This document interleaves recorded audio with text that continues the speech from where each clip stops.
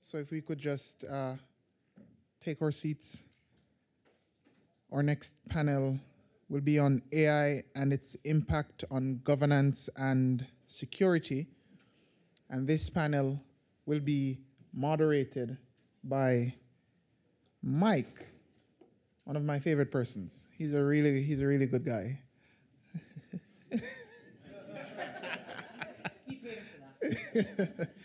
so, without further ado, Mike. Thank you.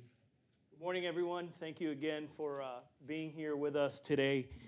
Um, I'm, I'm really excited about our specific topic on governance and security. So, I've got the privilege and honor uh, to be at the Gordon Institute spearheading a, a project that is, uh, is for cybersecurity resiliency across the state of Florida for public sector, municipal, and uh, state employees, you know, at the executive and, and managerial level. And it was mentioned a little bit earlier in, in the panel before about that resiliency and the talent here in Florida, and that Florida is doing some things right, as you heard Provost Bejar mention some of that. And, um, you know, you can't, there's certain things about these conversations that that security part, that component, that issue is at the heart of all of this because you know as AI is going to make a lot of our lives a lot easier and more efficient and all of these things, at the same time it does introduce liabilities, it introduces new risks, and um, you know it's a it's a very fitting time for us in Florida to take advantage of, of this opportunity because it feels like many things are converging at, a, at, at the, just the right time where we can be ahead of policymaking in Florida, taking into consideration you know, policies that help us innovate, that help us grow, and keep us safe, right? So that, that project is, is run through uh, Cyber Florida. Uh, the, the group back here, Ernie, Ernie personally makes it a point that we make sure we stay, we stay up to date with, with robotic attacks and bring that over to, uh, to the legislators and, and, and our uh, participants. Today we have a, a spectacular uh, cast here of panelists. and uh, yes, yes, it is. Um, very happy to, to, to be here uh, with uh, Ana Chamas, Tamecka McKay, and Dr. Reed. Um, each one of you uh, bring a fantastic perspective into governance and, uh, and, and some of the security issues. And Anna, I would love to start with you as far as you know, Dade County. As far as I understand, in the state of Florida, is one of the first counties in the entire state to actually take a very proactive approach in issuing uh, what's the term I'm looking for, in issuing, uh, uh, uh, you know, activating an initiative based on AI for the county. So hi everyone, my name is Ana Chamas. I'm the Director of Innovation in Miami-Dade County. And yes, very exciting for us. Hopefully on the 6th of February, our AI policy and report on artificial intelligence in government will be released to the Board of County Commissioners and to the public. It has been a labor of love. Um, it is I really feel um, one of the things that Madeline said in the previous conversation was that we are just at the beginning. This is just the beginning. Um, I was looking yesterday at a at a Gartner study um, that talks that was talking about AI adoption um, and specific to ChatGPT and comparing it to um, to adoption of Twitter and what took a million users, you know, for ChatGPT in five days to adopt a million users, it took two and a half months for Instagram. So it is insane yeah. the rapid amount of adoption. But it's very telling what Dr. Singer was saying um, that only 17% of people understand what AI is about. And so it's very interesting that that when we put together the policy, one of the things that our board asked for was to really look at workforce considerations. And so seeing that that the conversation over and over again is about talent management and workforce development is going to be critical in adopting all of these policies. So we could put these policies together, we can codify things, but it, in order for people to embrace it, they really need to understand what we're talking about. You know, and the reality is, is that ChatGPT is a service. Then there is the whole monster that becomes what, you know, the models that are the basis of things like the service of ChatGPT. And then there will be workforce implications from people that are like prompt engineers. And those aren't technical people. So there's a lack of understanding in general, even amongst our peers, in what this is really adequate, like we're not adequately, properly educating. And I think the previous panels and the keynote really were a great testament to that, which is what I was telling you about earlier. So. Uh, you know, that um, that brings me also to envisioning, and and here we are, Dade County being extremely proactive, and I know Tamecka as the CIO of the largest city in Broward County, you guys are also envisioning some of these things. Can you speak a little bit to, you know, what it's like for your particular city, um, given the, the complexities, right? Uh, uh, and the nature of getting these things, uh, you know, the buy-in and the moving and the adoption. Yeah, it's, it's interesting that you should say that because, uh, well, first I want to give uh, kudos to Miami-Dade County under the leadership of Margaret Brisbane for their forward thinking.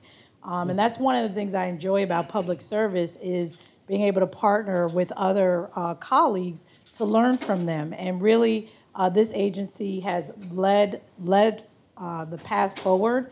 And uh, I look forward to partnering with them to bring some of those uh, initiatives to the city of Fort Lauderdale. As you mentioned, the city of Fort Lauderdale is the largest city in Broward County. And I, with the exception of Miami-Dade, uh, the three public organizations that I've worked for, they've always been behind. We've been more of a reactive, a reactive approach to technology. Um, it's just, you know, just hasn't been at the forefront.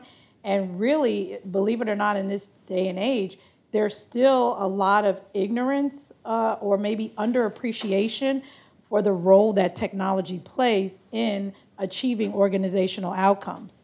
Um, the tradi- traditional IT department, IT folks, we were back end. You know, my laptop's broken. We were an afterthought. We didn't even have a title maybe 15 years ago. We were data processors. And now we've, with our digital economy and the digital revolution, we've really moved up from being a back end uh, utility really to being strategic partners with the business on accomplishing those outcomes. And two things have to happen. The IT people, we have to get away from the gadgets and the technical terms and our little uh, scientific world and embed ourselves into the business, understand the business language, understand their challenges, understand their processes, so that we can build and bridge that gap that really, and again, I'm speaking uh, from my experience, between technology and the business and the government space. Um, and really, it's funny because I'm a techie at heart, but I would say the last five to seven years, I've really spent more time learning about the business, building relationships, building trust to help my business leaders understand where I can be a partner with them. Don't just see me as a utility, okay, my laptop's broken, my cell phone's broken. I want to be with you in the room when you're looking at that five year plan, and I want to look at your problems and say, here's where AI or digital transformation can help you, but also bring those guardrails in to make sure that we're safe. Um, helping them understand that um, data is really the new oil, right? And then the other part of it is helping them understand that it's not really about the technology. I mean, I talk to my team all the time and I says nobody cares about our servers, our routers, our code. What they care about is outcomes. Nobody cares about the gadget that's inside the ambulance, but what they care about is a stroke victim now has a higher chance of survival because that gadget already communicated to the doctor at the hospital that a stroke victim is on his way. By the time they get there, everything's already set up. And what maybe would have taken 20 minutes is now five minutes, and now somebody has a higher chance of living. And I think we need to have that same approach to AI. It's some for some people it's a buzzword, uh, just like the cloud. Oh, the cloud, the cloud. Everybody wants to move to the cloud. Let's not just get caught up into the buzzwords. I love to quote Simon Sinek. What's the why? Right. So from the public perspective, it's not just about oh we're doing AI. What's the problem? What are we trying to solve? And how can technology, AI, enable those policies and those desired outcomes based on what that is. As long as we can stay on that and focus on that, then I believe with the guardrails, with the policies, with the buy-in, uh, with the community engagement, with the collaboration, we can be successful. And, and you bring up such a great point, and we see this in in the advanced cybersecurity trainings that, that we're doing when we're bringing in C-suite executives and managers, right? When we're we're saying, hey, it's not the technology, because so much leans on the folks who are running the the technological aspects of, of a government or a city. Um, you know, and you see eyes and everybody looking around every now and then. It's it's not the tech, it's you. The the real element here, the real thing is that person. Exactly. Do you find? I mean, you think this would be a much easier conversation because of how popular and how permeated it is into individuals' personal lives already to get some of this buy-in on saying, "Hey, we need to do something about this." Right?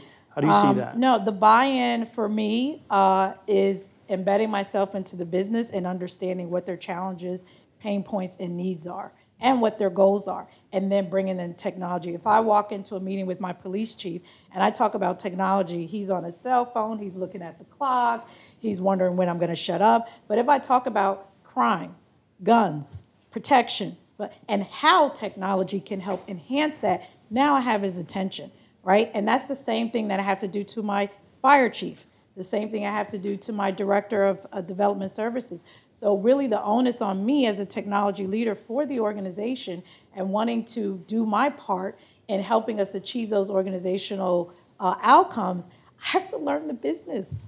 Right? I have to learn what my police chief needs and how technology can help him get there. And when I get him to see that now I have his attention, now I have his his, his partnership, and hopefully I'll have his checkbook. I think that's a, that's, that's a perfect segue for Dr. Reed. Um, Dr. Reed, you are the inaugural founder of uh, AI Squared at UF. Uh, you guys are doing some pretty uh, amazing things research-wise. Uh, can you speak a little bit towards you know this this whole thing? You, you hear how government is is usually we're having to bring them you know help them motivate them get them to speed. How how is it AI squared in your work? Uh, can you talk a little bit to that effect? Sure, sure, absolutely. Thank you for be, letting me be here. I appreciate it. So, at the University of Florida, like Miami Dade College, we were fortunate enough that we made our bet in artificial intelligence pretty early in the game. So, in January of 2020, we decided as a university that we were going to uh, greatly expand what we were doing in AI. And um, like some things that happen at universities, this actually was a donor driven, kind of top down initiative. We had a former, um, we had an alumnus who wanted to uh, gift us with an AI supercomputer, a wonderful thing to have, but he also challenged us with a question and he asked us, if we give you this AI supercomputer, I know it's going to supercharge your research enterprise, but tell me what else you're going to do with it. And our provost really quickly said, we're going to teach AI across the full breadth of the university. We're going to layer this on top of any and every major because it's going to be that important to our students. So we have 16 colleges at the University of Florida. It's, it's a very broad college, a very broad university.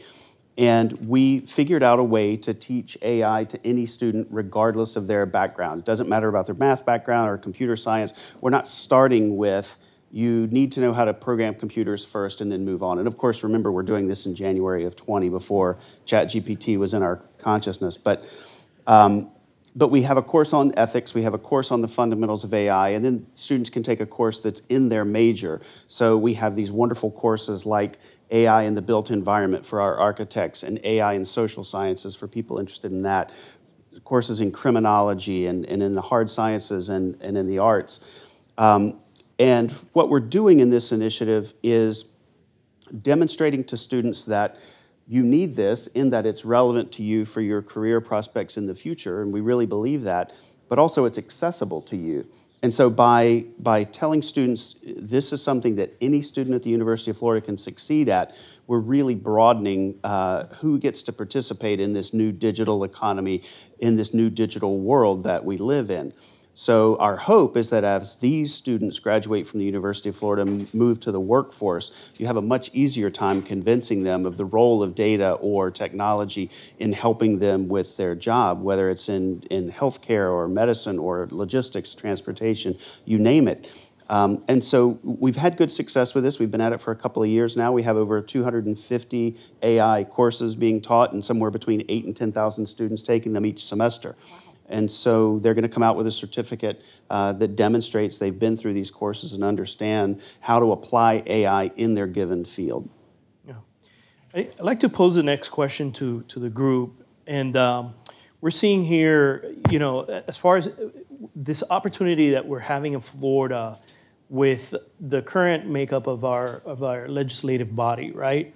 And, you know, I, I love seeing we, we probably have the, the highest number uh, this, is, this is not fact, but at least it's my perception of we have a very young legislative uh, makeup, right? You look at the average age, and when you hear statements, you know, uh, from a senator or somebody who's, you know, prides themselves on never having ever sent an email, and yet they're legislating policy for the entire country on how we use the internet, you know, that that really creates uh, that really creates some some uh, issues there for the state of Florida, and, and how do you all see, you know, uh, uh, what is the, the approach to, for the municipal agencies for, on the government side to, what do we need? What do we need to ask the legislators to give us, to have policies in place that help us be successful in adopting these technologies, but also in making sure that the technologies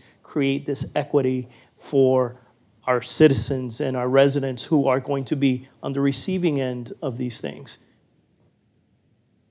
Well, um, I'll start with something that was shared at a um, presentation yesterday, and I want to make sure I give credit to uh, Dr. Levy um, at NSU. Um, and he mentioned, he said, "Do you remember when the first car was built? Right? There were there was no front window, uh, there were no seatbelts." Um, there were no airbags. There were no rules. You didn't even have to have a driver's license. There was no registration. And over time, as it proliferated and became more common, these rules came along. And really, it was a great way to um, reference where we are with AI right now.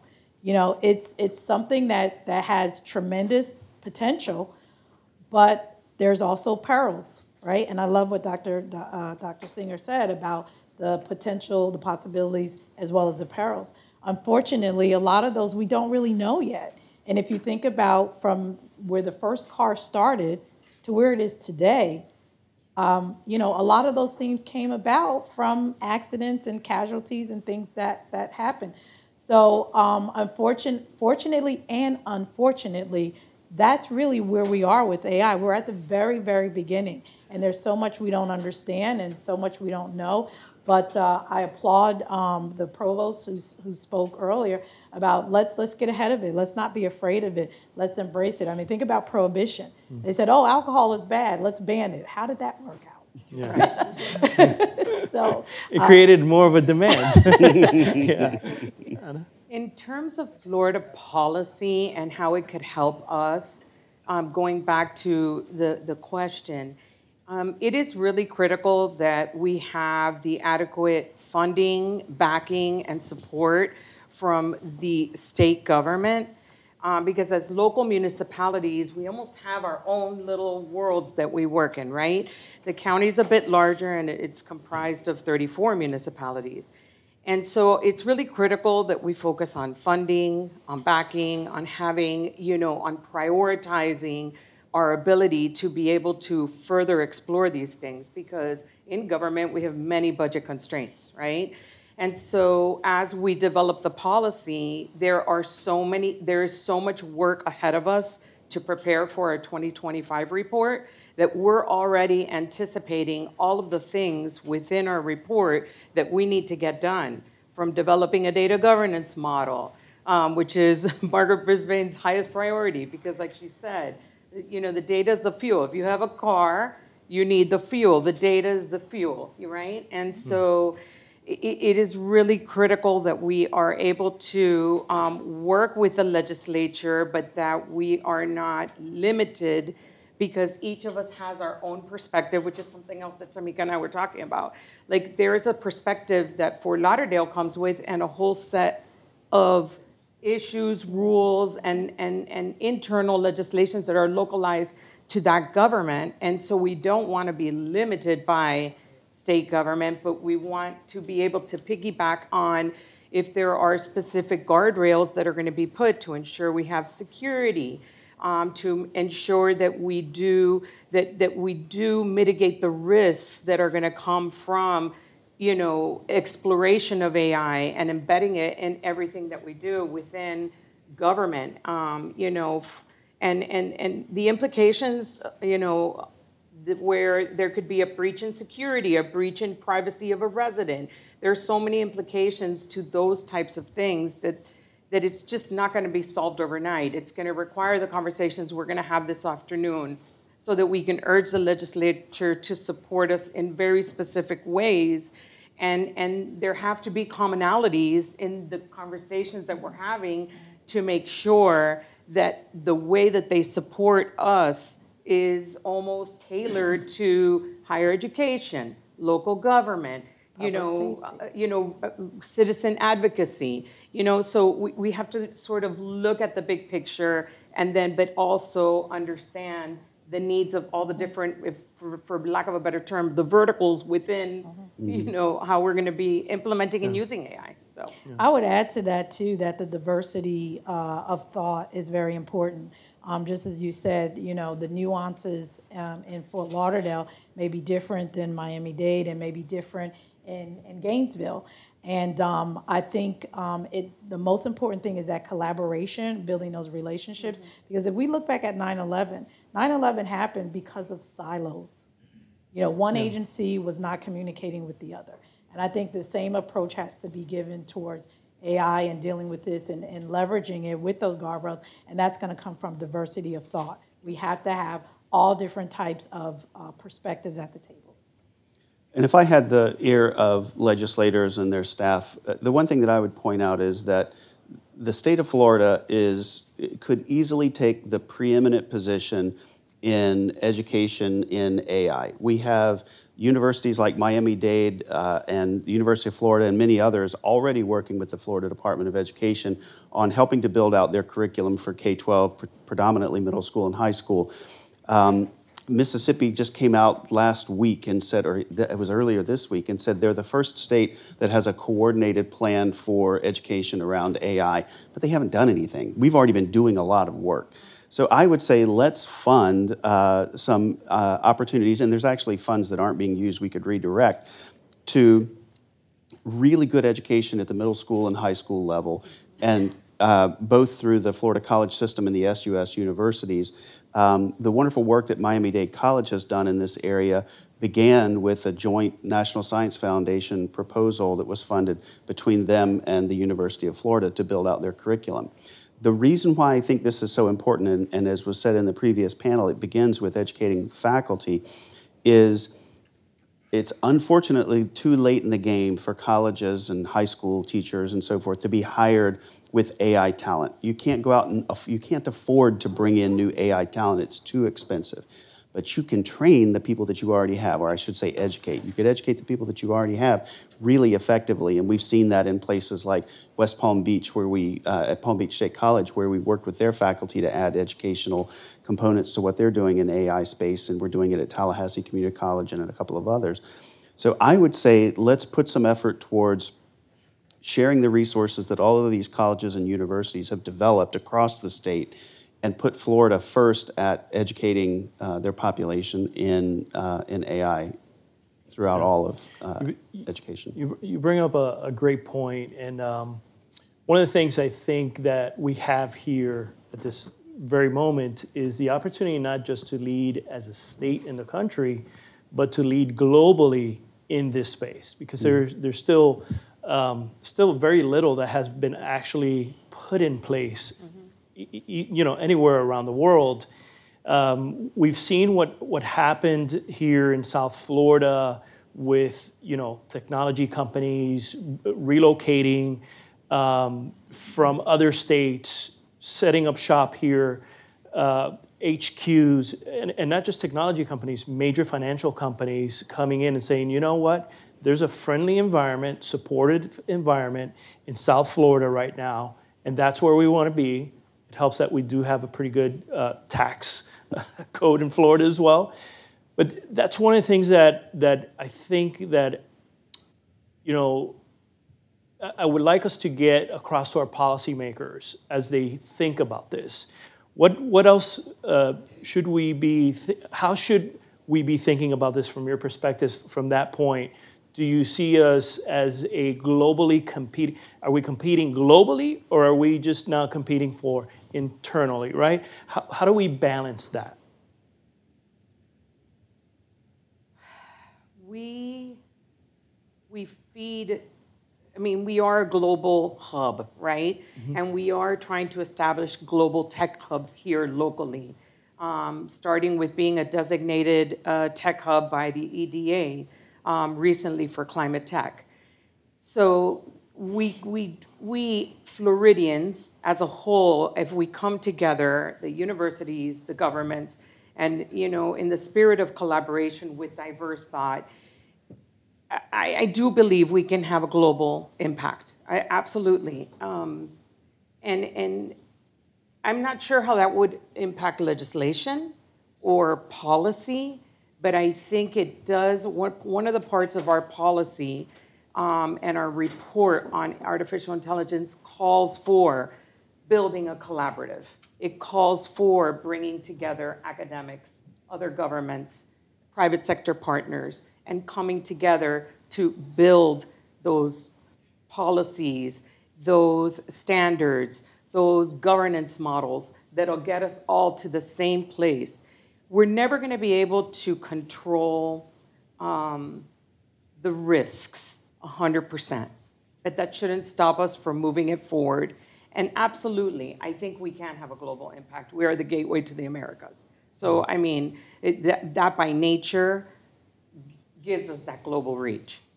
So um, I would first start off by saying if we want to be leaders, um, we have to be visionary, we have to be strategic, we have to be aware of what's on the horizon. We can't just think about today, we have to think about tomorrow, looking at trends, looking at data, um, making strategic decisions. But I would also bring it back to what are we trying to solve? What do we want to look like? What are our priorities? What is our mission? What is our vision? And then once that is defined and agreed upon, bring technology and AI in to achieve that. I still think that there's um, a caution to, to start, to not start with the technology, but start off with the why. What are we trying to solve? What do we want to be? What do we want to see? What are those desired outcomes? If we don't start there and we just say, oh, well, what can I, you know, let's do AI, let's do tech. Um, I just feel like, and again, maybe it might be different in the private sector, but as a public servant, as a civil servant, you know, my goal is to improve the quality of life, um, to serve the community. So that's where I want to start. And what defines that? What does that look like? And how AI and technology uh, can help me achieve that? So, as much as, yes, we want to be visionary, we want to be uh, aware of what's coming on the horizon and be aware of, uh, you know, the future, I still think we should come back to the why and what are we trying to solve.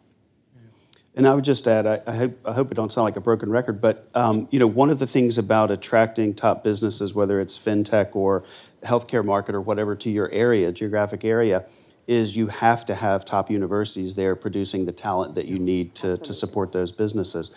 And you know, luckily in South Florida we have that. If you think about Jacksonville, Jacksonville doesn't have an R1 university present. So I think one thing that helps is we have that base here. So long as those universities and colleges are putting out talent with AI skills and other things, I think that's a huge advantage for us. Um, but the state as a whole will be able to grow if we're also allowing uh, community colleges, state colleges, and, and other universities uh, to create that talent around them as well. So, thinking at the state level, can we make a global impact? Yes, if we're working together towards those ends. Yeah. All right, we can't we can't uh, continue here unless we actually start having a little bit more conversations on security, the security af- aspects of all of this. Um, I, am just thinking Fort Lauderdale. You guys have been through quite, you know, quite, a, a, journey in the last uh, maybe 12 to 18 months, right? Yeah.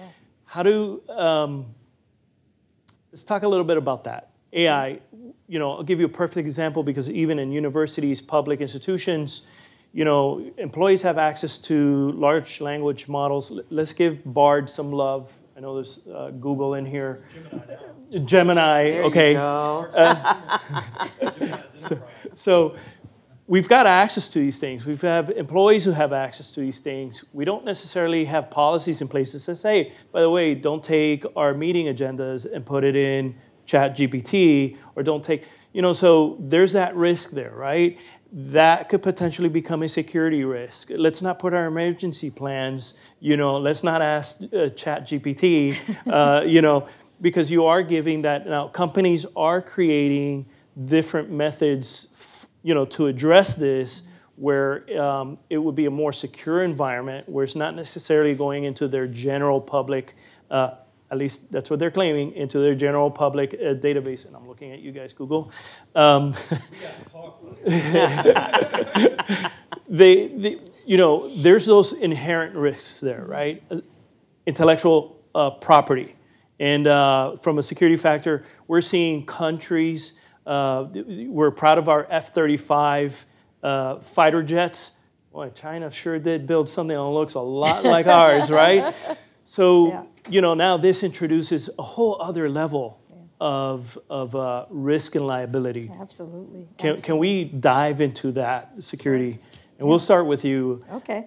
Um, well, for those of you who don't know, um, the, the, city of Fort Lauderdale has had a very interesting past 12 months. Um, the uh, historic one in 1,000 year flood of uh, April, I believe it was April 12th, uh, 2023, when rendered our uh, city hall uh, entirely inaccessible.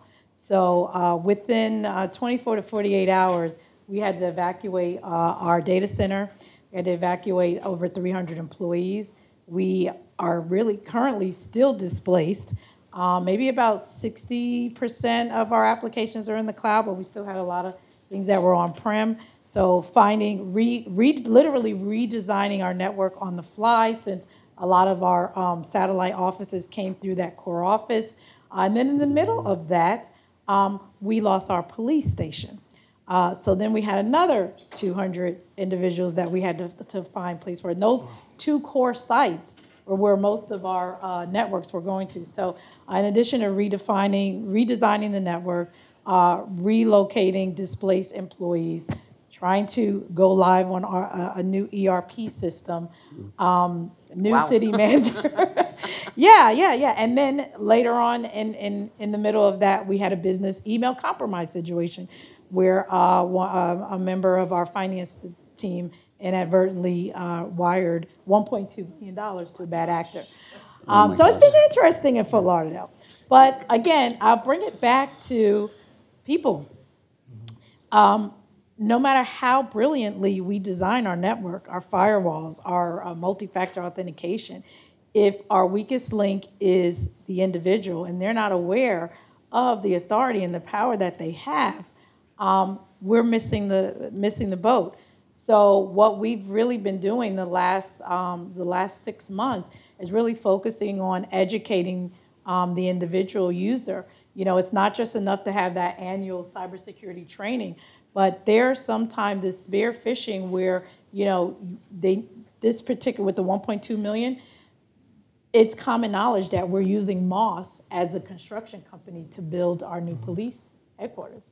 And it's common knowledge that the accounts payable supervisors, name I mean, all this is public record. Right.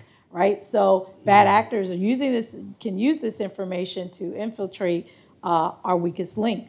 Who cares about a router? Who cares about a firewall? Who cares about multi-factor authentication when um, there's a human factor? So I would say from a security aspect, with AI, with anything in digital transformation, it all goes back to the people. Knowledge is power. Educating your people, making sure that they understand that cyber, uh, cybersecurity is everyone's responsibility, not just information technology.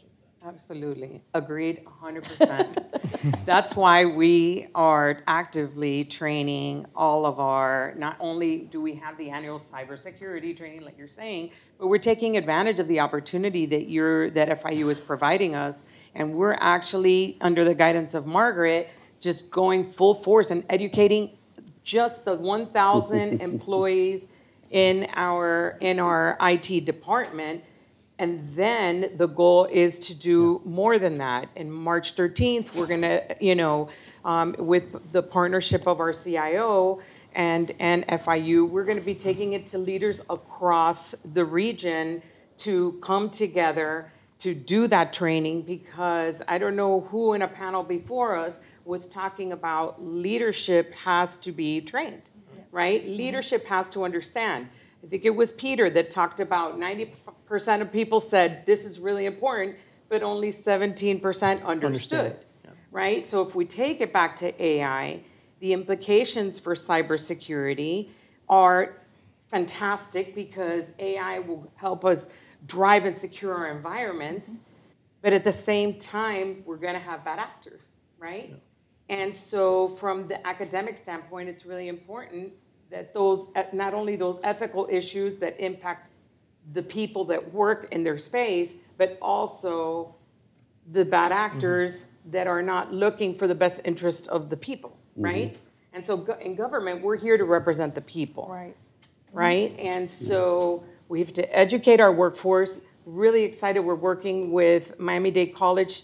That's another training that we're going to do. So not only are we working with FIU for cybersecurity training, but we're going to also work with the college to educate the whole entire workforce, right? So the implica- when we educate on AI, it's going to teach not just the ethical considerations, the you know possible hallucinations that come from AI because you know it's trying to complete a thought and then it makes up stuff, and you know, but beyond all of that, it's going to just educate the value of what AI could bring. You know, the idea that your your ChatGPT or robot or AI or however people want to call it can be your partner in completing your thought. We used ChatGPT and we used um, you know various um, AI tools to build the actual AI policy. It was our partner in building something that was like started at 50 pages and we narrowed it down to 15, right? And how do we do that? By, you know, the human interaction that AI will require. And that is part of the education piece. We're not saying that ChatGPT or any type of AI you know, um, model or language, natural language model is a bad thing. We're just saying the human intervention is necessary and we have to retrain the workforce. That upskilling is absolutely critical. I couldn't agree more. So at the University of Florida, you know, we have to take the annual uh, evaluations too about cybersecurity. but what I really enjoy is we have all the phishing attempts that are mock phishing attempts Yes. that send you to the cybersecurity page. Those are hilarious, and I got one just the other day. And as an academic, I just I really chuckle every time I get one. I'm trying to quickly go through my email. I get something that says, you know, your Netflix account is blah blah blah, and it has a link on it. And I'm thinking, I don't have that's in my wife's name. Why did I get this email? And it takes a few seconds before I go, oh, this is one of those phishing attempts from my uh, CIO Elias, and, and I delete it and go on. But but we do a lot of those, and it's a really good educational opportunity. But the other thing that I was going to mention quickly is, um, you know, we had the philosophy early on at the University of Florida in teaching these AI courses that many of our students may not go on to use this in their in their career. They may not. Many will certainly. But for those who don't, they're going to understand this digital world they live in so much better. And so you can almost think of it as a gen ed course where this is going to help you in your life. And so we hope that that's the case for those who don't ultimately use it necessarily in work. Yeah. you know, you said some things, and uh, you saw the Cyber Florida team, uh, all smiles over there, um, and, and and it is, it's a human. You know, there was something amazing. So just this week, uh, president of Argentina, Milei, went and uh, did an address at the World Economic Forum, right? And somebody within the same day took it, took his address through uh, through an AI and translated it verbatim into English using his voice and his accent. Yep. And it's, you know, for how fast they put that out, it's incredibly good.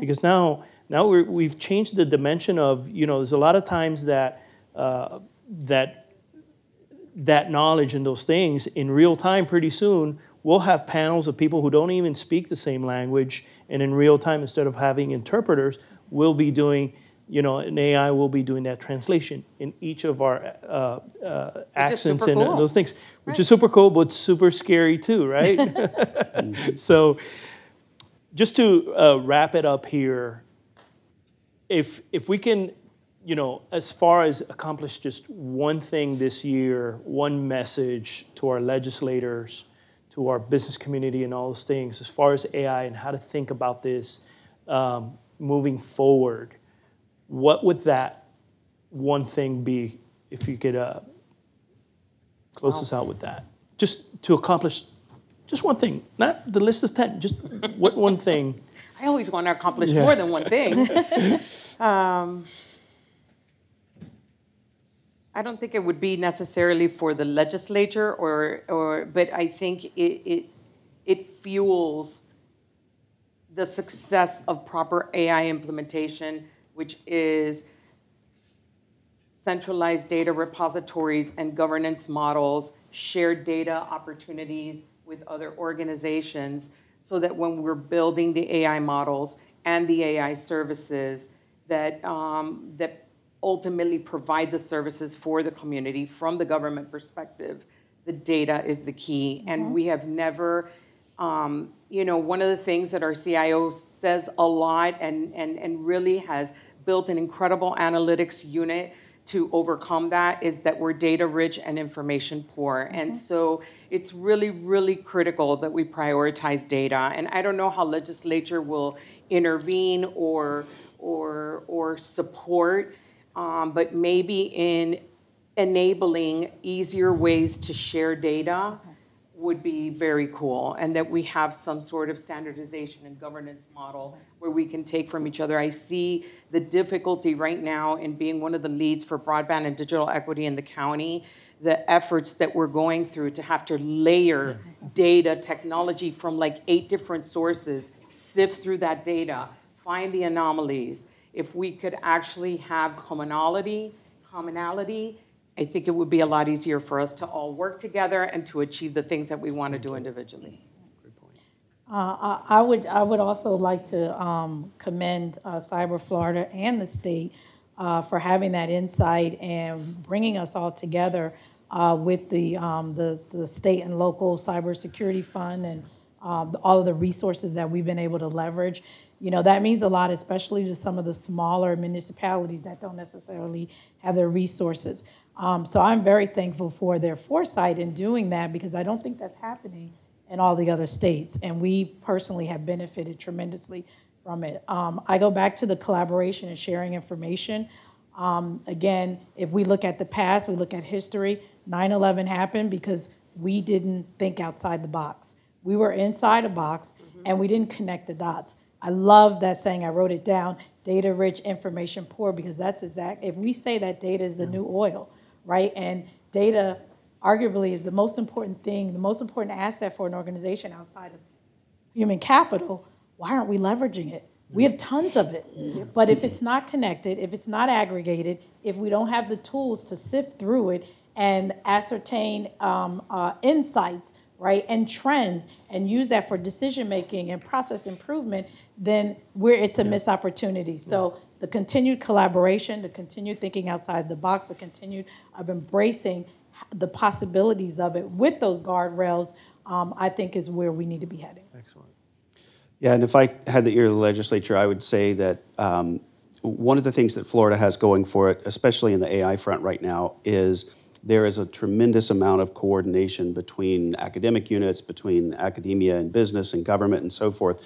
Let's take advantage of that, this, this willingness to collaborate, share information, share data, which is pervasive from where I sit. We've worked with a lot of other universities and municipalities talking about AI lately. Um, I think the time is right to, to create organizational structure around that, get people talking to one another, and put some money behind that. We've benefited greatly from the state. We had $20 million recurring to hire a new AI faculty. And so th- we're will because of that, we're willing to give the return on investment and share everything that we have, the way that we're teaching, the way that we're preparing students, and so forth. Let's bring some of that to bear across the state. Thank you. With that, um, I'd be remiss if I, I didn't give a shout out to the sponsors of today as well for helping, you know, uh, us gather this fantastic panel here. Cyber Florida, Lab 22C, Miami-Dade College. Uh, thank you so much for, for putting the muster behind this to, to help us pull this off. And with that said, thank you all very much. Um, if we could get a picture, and a round of applause for you all.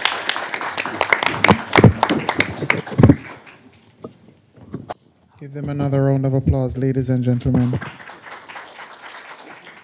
At this time, we will take a short break, a short 10 minutes break, and then we will be back uh, promptly to convene, uh, to receive remarks from uh, one of our state representatives. So, see you in 10 minutes.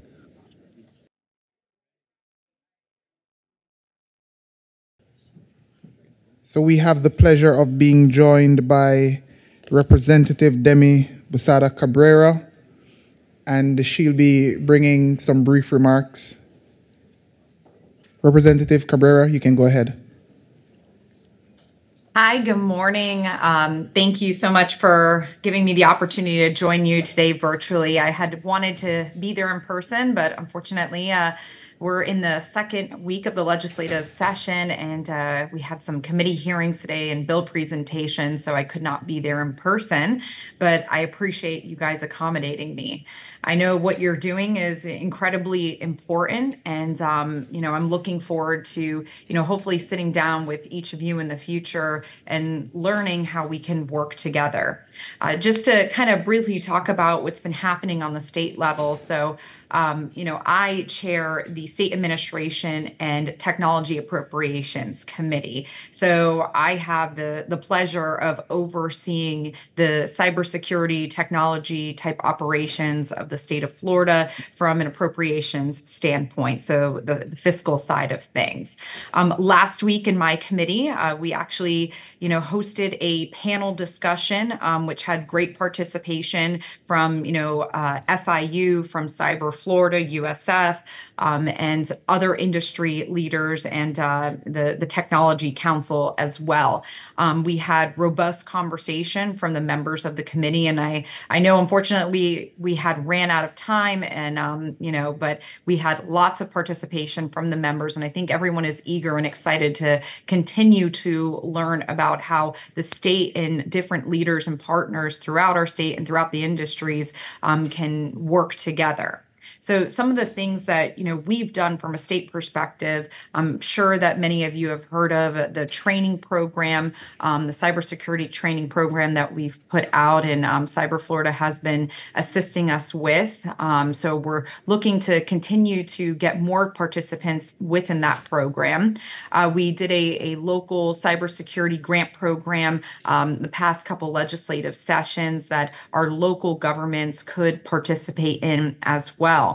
Um, from an AI perspective, you know, I think that we're kind of getting started in this arena. And that was a big part of why I wanted to host that panel discussion, you know, last week is what can we do as a state? What should we be doing? So a lot of what we have been doing is just, you know, um, using different AI initiatives in our government operations, um, you know, that make it easier, more automated transactions um, where citizens or government employees have less of a wait time when they need government assistance, um, whether that be through Department of Revenue or DORA um, and Department of Health and different licensing issues like that.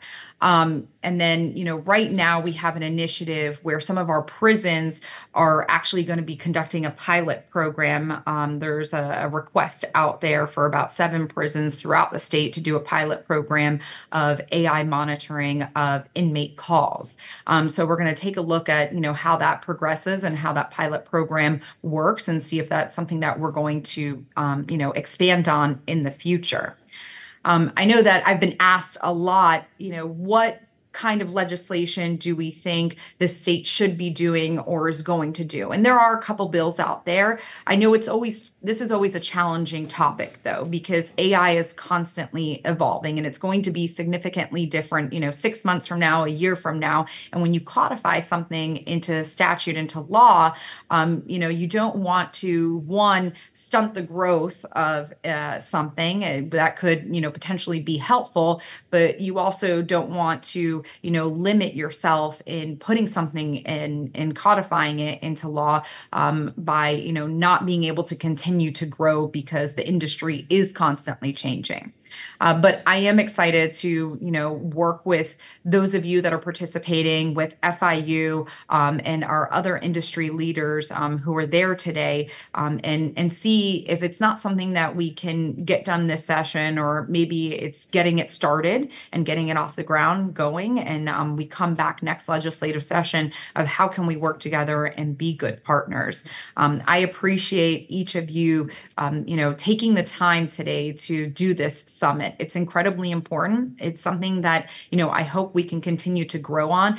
And I hope that people will look to us as leaders in, you know, the technology, cybersecurity, AI fields. Um, I want to help each of you, and I hope that you would want to help the state of Florida in becoming an industry leader that others can look to. Thank you.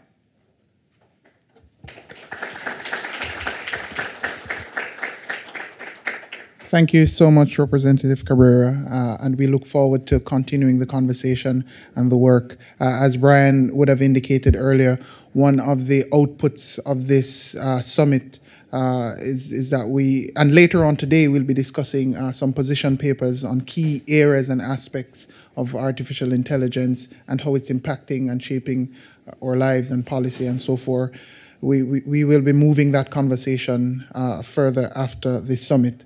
Uh, or next, uh, we'll continue the conversation moving along. Uh, we'll be having a fireside chat with one of our very own, uh, well, led by one of our very own, Mr.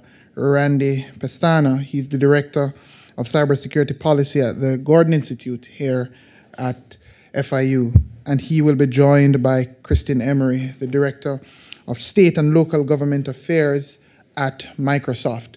So we're giving them about a minute or so to get mic'd up, and they'll join us uh, in a moment. Very excited uh, about our speaker. Uh, I know a number of folks in the room have partnered with Microsoft, uh, FIU certainly being uh, one of them. Uh, interesting fact Microsoft was the first to invest in FIU's cybersecurity policy programming. Um, and really helped lead a lot of the way in terms of educating, training, uh, not just the future workforce, but the existing uh, cybersecurity workforce across Latin America and the Caribbean, and then extended that uh, to our work uh, here in the Balkans. So, um, very excited about our next uh, fireside chat. Just have a discussion um, with Ms.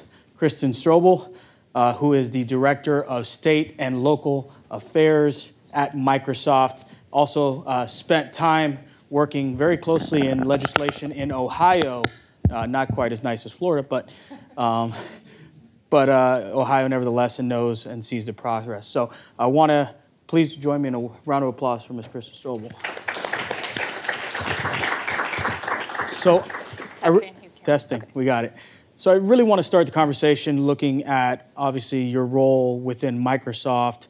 What does that look like, and what are some of the kind of perspectives regarding the AI policy debates coming out of Microsoft, but also your work with the different legislators around the country? Mm-hmm. Um, so I'm director of state and local government relations, and we have a whole federal team which spends their time with the White House and with uh, Capitol Hill. But I'm where all the action happens, which is state and local. I'm in Tallahassee a lot. In fact, I was in Tallahassee for several days this week. It was way colder than what I had expected, but um, still a lovely time there. Um, I got my start in Ohio politics, as you mentioned. I worked in the state senate there, um, working on legislation as an aide, and then I worked for the attorney general of the state of Ohio, who's now the governor. So kind of made the trajectory up to a statewide office. And then the last 10 years, I was, was in DC working for um, trade associations. I actually lobbied on video games, which is how I met a lot of the Microsoft people. Um, but now in my role, um, I have states in all four time zones, so that keeps things interesting for meetings and calls. Um, but the last about year and a half, everything has been AI, AI, AI. Yeah. So we at Microsoft care about a lot of issues, but that is definitely a top priority for both state and local. Um, so every state's different, which is unique, but like I said, most of the actions happening there um, a lot more so than in Congress, which seems to be stalemate most of the time. So um, I, I, love um, the role. I've developed a lot of relationships with local elected officials like a mayor or city council who goes on to run for state legislature and eventually sometimes for governor or other statewide offices. Um, so I love the relationship part of it and the human component because you have to have the human component as well as AI, you know, in that, in that discussion. So that's kind of a little bit of my background. No, it's phenomenal, and I think it's it, thinking about that, and thinking about the experience and seeing that work from local to the state level, and obviously you've had that experience working across from state to federal. What are some of those kind of key considerations as, as we start to think about policies not only that we need to draft, but policies we need to ultimately adopt and get that passed to the legislature? What are some of the key considerations the state legislature should consider when drafting or pushing forward a specific AI like policy? Mm-hmm. Well, first I'll give credit to the state of Florida because you guys are one of the leading states in wanting to do something in the AI space. I think when I left Tallahassee yesterday, there were over 16 bills that were filed, something related to AI. Um, some get in silos of their definitions, um, while others are more comprehensive. But Florida is definitely a leader in that space. Um, but what I've noticed, not just in Florida, but in other states, is there's no definition in the state statute for AI. So I think that sounds like a basic thing to be discussing, but creating a definition of artificial intelligence in your statute, it would be um, wonderful. Um, and rather than just having it referenced multiple places. Um, so a definition. And then last year, um, Florida was, again, another leader in passing, they're one of 12 states that has passed a comprehensive privacy law. And so um, Senate Bill 262 was passed by Senator Bradley, and we were supportive in that process of her moving that forward. Representative McFarland was the House sponsor, and states that don't have a data privacy or protection in place and you want to move forward with AI, I think that makes it very challenging. We at Microsoft view it as like parallel. If you're going to be working on or moving forward with artificial intelligence, you have to ensure that people's data is secure and private, especially when we're talking about what foreign actors can be involved in in artificial intelligence, for better or worse. Um, so having a solid foundation of data privacy law is important in the definition. Um, and then kind of seeing where the local government's role is. You know, if, if, if and when the federal government's going to act on some AI stuff, we can't necessarily at the local level wait. So states are having to serve as somewhat of the regulator. And it's an ever evolving space and constantly changing, constantly evolving. If we think about like autonomous vehicles, first it was just like the research and looking at them, and now uh, where I live currently in Scottsdale, Arizona, you can take one from the airport home without a single driver in there. So they're active on the West Coast of um, you know being able to have riders, and, and and so seeing if we were to have legislated on that to now, there's ever evolving technology. So I think the flexibility to continue to evolve and amend and add on um, the regulation that we have is important, but again, reinforcing that we are protecting people's data is super important to us. And then also, like, artificial intelligence is not replacing humans. At Microsoft, we have a product called Copilot, which is, we truly believe, is your assistant that is helping you through the process to streamline your work, to improve your experience on our platforms, the software that we have. And of course, our competitors and friends and partners in the space have their own definition. Um, but it, it is very important that there is the human component that exists within AI, and there is a control, and there is regulation, and there is a human overseeing um, some of this machine learning. So those are a couple of things that I think are good foundations for what an AI bill would look like. Yeah, you talked on a, a, lot of different points, and as the old saying goes, a lot of all politics are local, right? Yes. And we have a lot of a uh, number of local officials here What is the conversations at the local level, and how much is that demand pushing, particularly up to Tallahassee in the state of Florida, but across different states? You have different municipalities; they might not always have the same priorities as, mm-hmm. as well as like I think Miami-Dade County vis-a-vis Duval County. What are the conversations at the local level, and how does that look in terms of pressuring or incentivizing the state to act on mm-hmm. certain efforts that they frankly can't afford? I don't have the exact date in mind, but I will give Miami-Dade credit for they were one of the first large cities or large counties in the country to move forward with an AI um, task force to look at what AI could do for the government and how it would impact um, their workforce. Um, so I commend um, Florida for and Miami-Dade specifically for being a leader in that space. Um, but when we look again, not to say Congress is so slow acting, but we can't rely on waiting for the federal government for privacy law. There has been no federal privacy bill that's been passed. So, for better or worse, states, local governments are having to make up this patchwork um, of their own version of what makes sense for data privacy. And I think we're seeing that for AI too. Like, states are like, we're not going to wait for uh, the federal government to do something. Or, I mean, in October of last year, the White House came forward with an executive order on AI.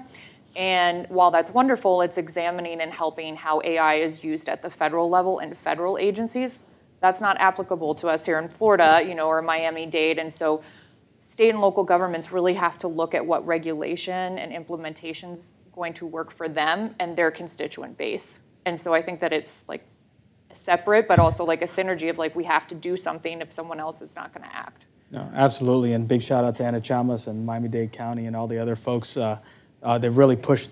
Huh? Margaret Brisbane. absolutely. So appreciate all the efforts that you've done uh, for, for our county. We talked a lot today, uh, and obviously you have the government's role in passing, poli- drafting, dra- pol- passing, and then implementing policy, and then you have the educator's role. And we talked a lot about that earlier today in terms of understanding what those key competencies and skill sets are needed in the educational system to enter the future workforce or how AI is going to impact the workforce. What is the role of the private sector? Obviously, Microsoft, I see Google here, but a number of different major companies that frankly have a key influencer on legislative processes. Mm-hmm. What role does business play in that AI policy debate? Um, like Google, we're been one of many companies that has tried to work with the White House and with states um, regarding implementing responsible and ethical ways to use AI. Um, but we at the private sector, we're not the only experts, right? We want to be a trusted partner with governments as we're working forward and having a conversation about what looks best for constituent base, workforce, training. Um, one thing that the private sector we are happy to lean into is when a state or local government has created an AI task force to look a little bit more on what are the benefits and potential downsides or downfalls from AI. Um, we're big promoters of state and local investing, and this includes university systems in research and development.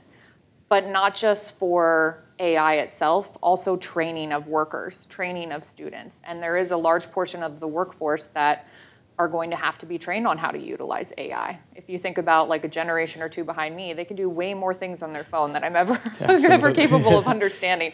And I think about that too with the workforce of if we are going to have AI in place to help expedite or streamline some of our day-to-day tasks, there has to be a training component.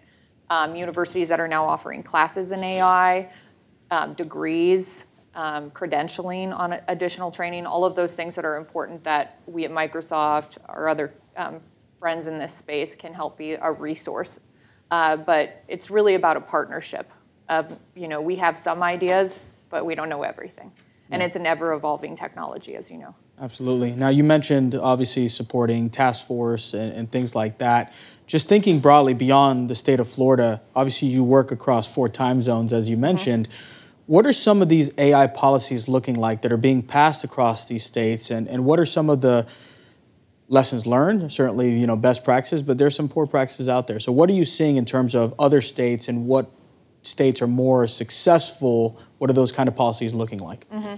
So, as I mentioned, there's the White House executive order, but I will say that several states are not necessarily um, enthusiastic about following that or wanting to do their own thing. So, we've seen, think at this point, eight or nine governors have um, introduced an executive order on AI to see how the their individual state can utilize AI for their workforce and their government operations day to day. So they're taking a step forward. I know your governor here is very busy, so that's it's definitely something we've talked about with his team.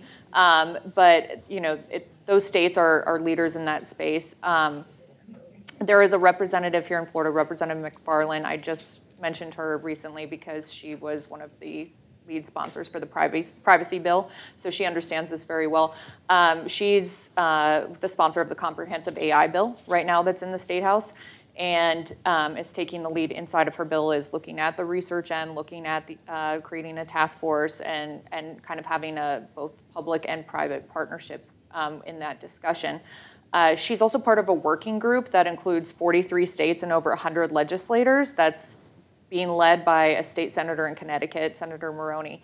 He is getting all, for the last like six, eight months, he's been getting legislators together from across the country, blue and red states, to talk about hey, how are we going to look at AI? How are we going to look at people's privacy? How are we going to be responsible, ethical? How are we going to protect to ensure that we have civil, civil liberties that are being upheld and that there's no bias? And really looking at it in a thoughtful way. So your leaders here in the state of Florida have been a part of that working group, which is great. Um, but it's early, right? There were over 190 bills that were related to AI that were introduced last year. We're anticipating several hundred this year across the country. Uh, and some are comprehensive, like Representative McFarland's bill, but others are very specific, like they want to just address deep fakes or how campaigns are going to utilize AI or how it can impact workforce or um, children and, and deep fakes on, online and how you know, all of these AI images and things that are coming out. Um, there's different regulations for that. So there's some states that are doing really well, only a couple last year that we can point to. Um, but I think Florida is ahead of the curve as far as leading in that they want to get something done this year, which is great. So I think executive orders from governors are a great thing to look at. Um, the bills that are inclusive of task forces are wonderful, research development, training for humans on, on AI. Um, and then speaking to kind of other states of what's worked and what's not worked. So allowing like pilots, um, test cases, yeah. demos that we can partner as a private sector entity with the state to say, hey, does this work for you? Um, does this work for your constituent base? I was recently in Indiana and they were talking about we don't have a great constituent experience when you come to our website of sending us out to local governments and having the local governments come back to our site and being able to talk to constituents to ensure they have a great way to talk. And I was like, oh, there's an AI chatbot that can send you to the right place and these things. So sometimes like hearing what the government customer needs and what will matter to the constituents to streamline their experience, that's a huge part of what AI is trying to accomplish is making things easier. And what it sounds like to me, and you mentioned red states, blue states, that AI, similar to cybersecurity, is a nonpartisan issue, right? There's a lot of political will. Are you are you seeing that nationally? Totally, and even in the you know the U.S. Senate, which sometimes can be a huge gridlock. Um, Josh Hawley, who's one of the most conservative U.S. senators in the country, is on several bills with Amy Klobuchar, a very you know, blue-leaning state um, senator, and they're working together on several things, whether it's cybersecurity, deep fakes, how algorithms are tracked, all of these different issues, and it's become bipartisan. I know for a fact that it will be bipartisan here in Florida when some of these AI bills are moving forward or they're co-sponsored that way. So it's a nonpartisan issue. I think different parties are viewing AI and the outcomes fears, anticipations, successes of maybe a little bit differently and wanting to have influence there, but it is definitely a nonpartisan, bipartisan issue for sure. And that's a blessing in this day and age here in the United Love States, it. certainly, right? Love it. Uh, I do want to shift over, right, because there's often the negative arguments that are made about AI and the way AI is going to impact. Uh, and Brian Fonseca and I did calculator math. Uh, again, we're a political science and international relations major, so mm-hmm. we took out our Babbage calculator and figured out that if successfully implemented, over $22 trillion in economic growth, additional economic activity will come to the state, right? That's phenomenal. Think about how many, it's billion? I'm sorry, I used our extra zeros. um, but thinking about $22 billion annually right, of additional economic activity, what are the what are those things that could come for? So, so what is the economic argument aside from obviously the whole numbers? What are you seeing from the private sector perspective, the ability to reinvest in local communities and districts like Miami-Dade County? Mm-hmm. So, what are you seeing from the economic argument of the AI side? I think there's the constant discussion about like this is, would replace workforce, and that's not the answer or the case. AI is going to, as I said, streamline, make things easier. We can do our jobs faster, more efficiently, potentially hire more people to fill jobs, and then where there is a, an area where we cannot fill a job, like maybe a call center, you have hundreds of jobs that are sitting empty, could AI serve in this space? So it's filling in and making sense economically for the workforce. Um, that's going to be ever evolving. That's not something that we're going to see overnight. Um, but governments like Miami Dade that are investing in, like I said, workforce training, I think, and putting research and development dollars in place are going to see the, the positive outcomes. And um, economically, I think the growth in the workforce and the, their utilization of AI will just take off. And so I, I think it's an ever evolving conversation, but I see a, a significant amount of potential that can come from AI. Yeah, I'm genuinely optimistic as well when it comes to AI adoption and utilization. But what are some of the challenges? What are some of the challenges that you see that oftentimes maybe will move too fast or maybe will overregulate? Or what are what are some of the key challenges in the debates that are going on that that might not be as expected? Great question, and I we see this federal level and state and local of like as technology is evolving very, very quickly, and we're trying to regulate it. Are we catching up? Are we getting ahead of our skis too fast?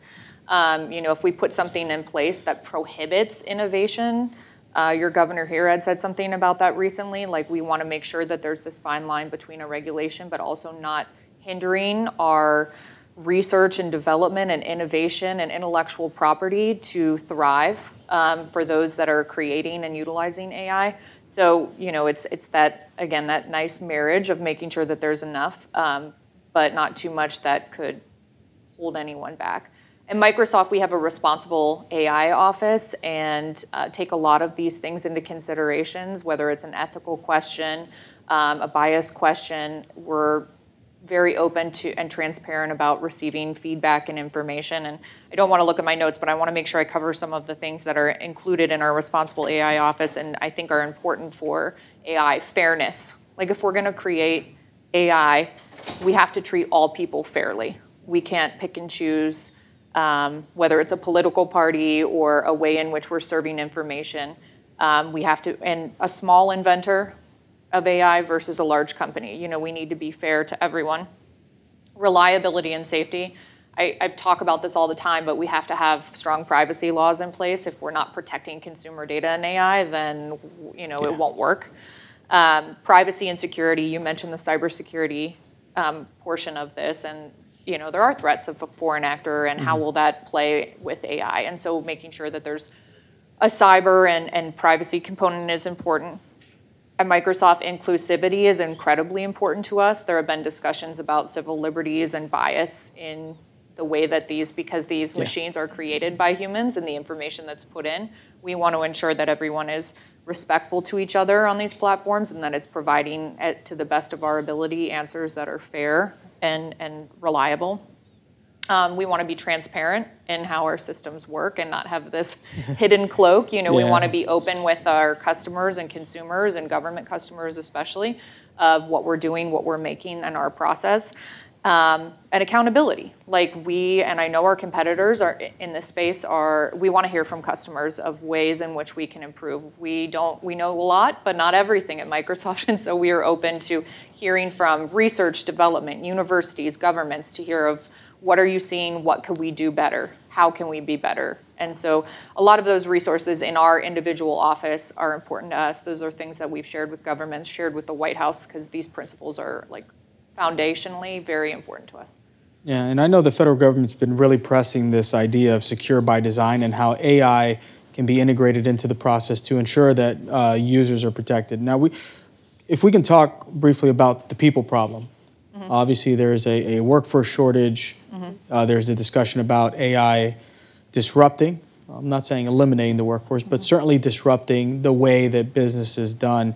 Uh, Microsoft's been a leader, obviously, with community college investments as part of the White House initiative, and, and a number of other training efforts for veterans and for women.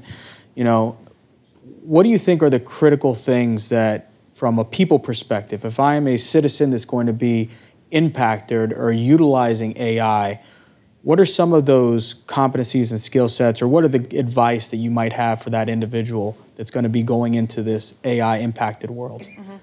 I think with ever evolving technology, uh, new things can be scary. Yeah. Um, I know, like in the late 1960s, when the introduction of ATMs came forward, all bank tellers were like, "My job's eliminated. I'm out. I'm done. I have no future." And in fact, over the last 50, 60 years, bank tellers' jobs and bank managers have more than doubled. So I think that there's a way that technology can scare you at first, but maybe can be an asset, and then you can focus your job on other things instead, or streamline the work that you're doing. Um, we talked about it so many times. So training, training these people um, that are going to be utilizing AI, training students. I think we're going to see a huge wave of. Um, Microsoft owns a company called LinkedIn, so we already are seeing some of the job reports of, for the first time ever, kids are young students are having um, AI as a degree or a credentialing on their um, on their uh, profile, and so that's that's a great trend that we're seeing. But training workforce, investing public and private sector in training workforce on AI, so that there's a comfort level. Um, participating in demos so that you can see how this is actually helping listening to your constituent base of like what ways do you think ai could help streamline or make your experience better? What is it that we're doing at the county or city that could make everything better for you? So having those discussions, and some of those things come up in in our um, task force or workforce discussions. Um, but I think that education, investment, and training are huge in this component. We only have a few minutes left, so I'm mm-hmm. going to ask you. I saw you with your luggage. Take out your crystal ball here a little bit, right? A lot of luggage. Right. So I've been in we- Tallahassee for a while. there you go. So we, we, we've talked a lot about how you've seen the demand by legislators to look, review, write, and pass AI-related policy. So thinking, and I'm not going to take you five years down, I'm going to take you maybe two years down the road. Mm-hmm. What do you think some of these AI policies look like that are going to be passed at the state level? Yeah, so one of the things I referenced earlier is that I'll say two separate things. One is the legislature, one is the executive branch. Governors, several governors have pushed forward these executive orders, and I know like Miami-Dade County has and other local governments. Um, that is allowing these governments to look at what's working and what's not working, creating sandboxes to kind of try and train and, and see what works for, for them and their constituency. Um, they also, a lot of them put a timeline rather than just saying, hey, we're going to create a task force and arbitrarily look at this. It's we want to report to the governor by X. And so having that feedback of looking at it for maybe two years, three years, whatever it may be, six months in some cases of what AI is, and the White House is doing this as well, what is benefiting their government agencies and what is hindering, and how will AI look to impact or hinder or hurt the workforce. So looking at all of that, I think from the executive branch is a really, really good thing. And then, like I said, there was almost 200 bills last year on AI, so we'll see what comes out. We're in the early stages. I think with the bills that are coming out this year that get passed, I think we'll have a better idea. But I don't think that it just if you guys pass in a comprehensive AI bill that you're going to be done there's always going to be something additional that's going to pop up, and we're going to have to react to that and regulate and, and, and further um, move forward with legislation. So we'll see. There's not an existing state like model bill that's out there yet that has passed forward. Um, California last year was very close to getting something passed, um, but but did not. And so we're going to see people that are part of this AI working group, like Representative McFarland and others, um, will probably have some great examples to look to look to. But I think it's ever evolving, and we're going to just learn the more that we're utilizing it. What else do we need to do to add to make it better? No, phenomenal, and I, 30 minutes runs by really, really fast. So, so I, I, I do appreciate your time, and, and I thank you for the insights, and, and look forward to seeing, obviously, uh, not just uh, what you're pushing in different legislators, but what Microsoft and the private sector is going to do to support academic institutions, public sector, local Yes. municipalities. So thank you for everything you do and certainly Yes. everything Microsoft does, and uh, appreciate the partnership. One more round of applause, please, for Crystal. I hate to be the one standing between you and lunch, so without further ado, we will go to lunch now and we will return for our final panel uh, titled AI and the, its impact on the economy and society. Thereafter, we will go into our breakout rooms to discuss our position papers. So, lunch is on the outside.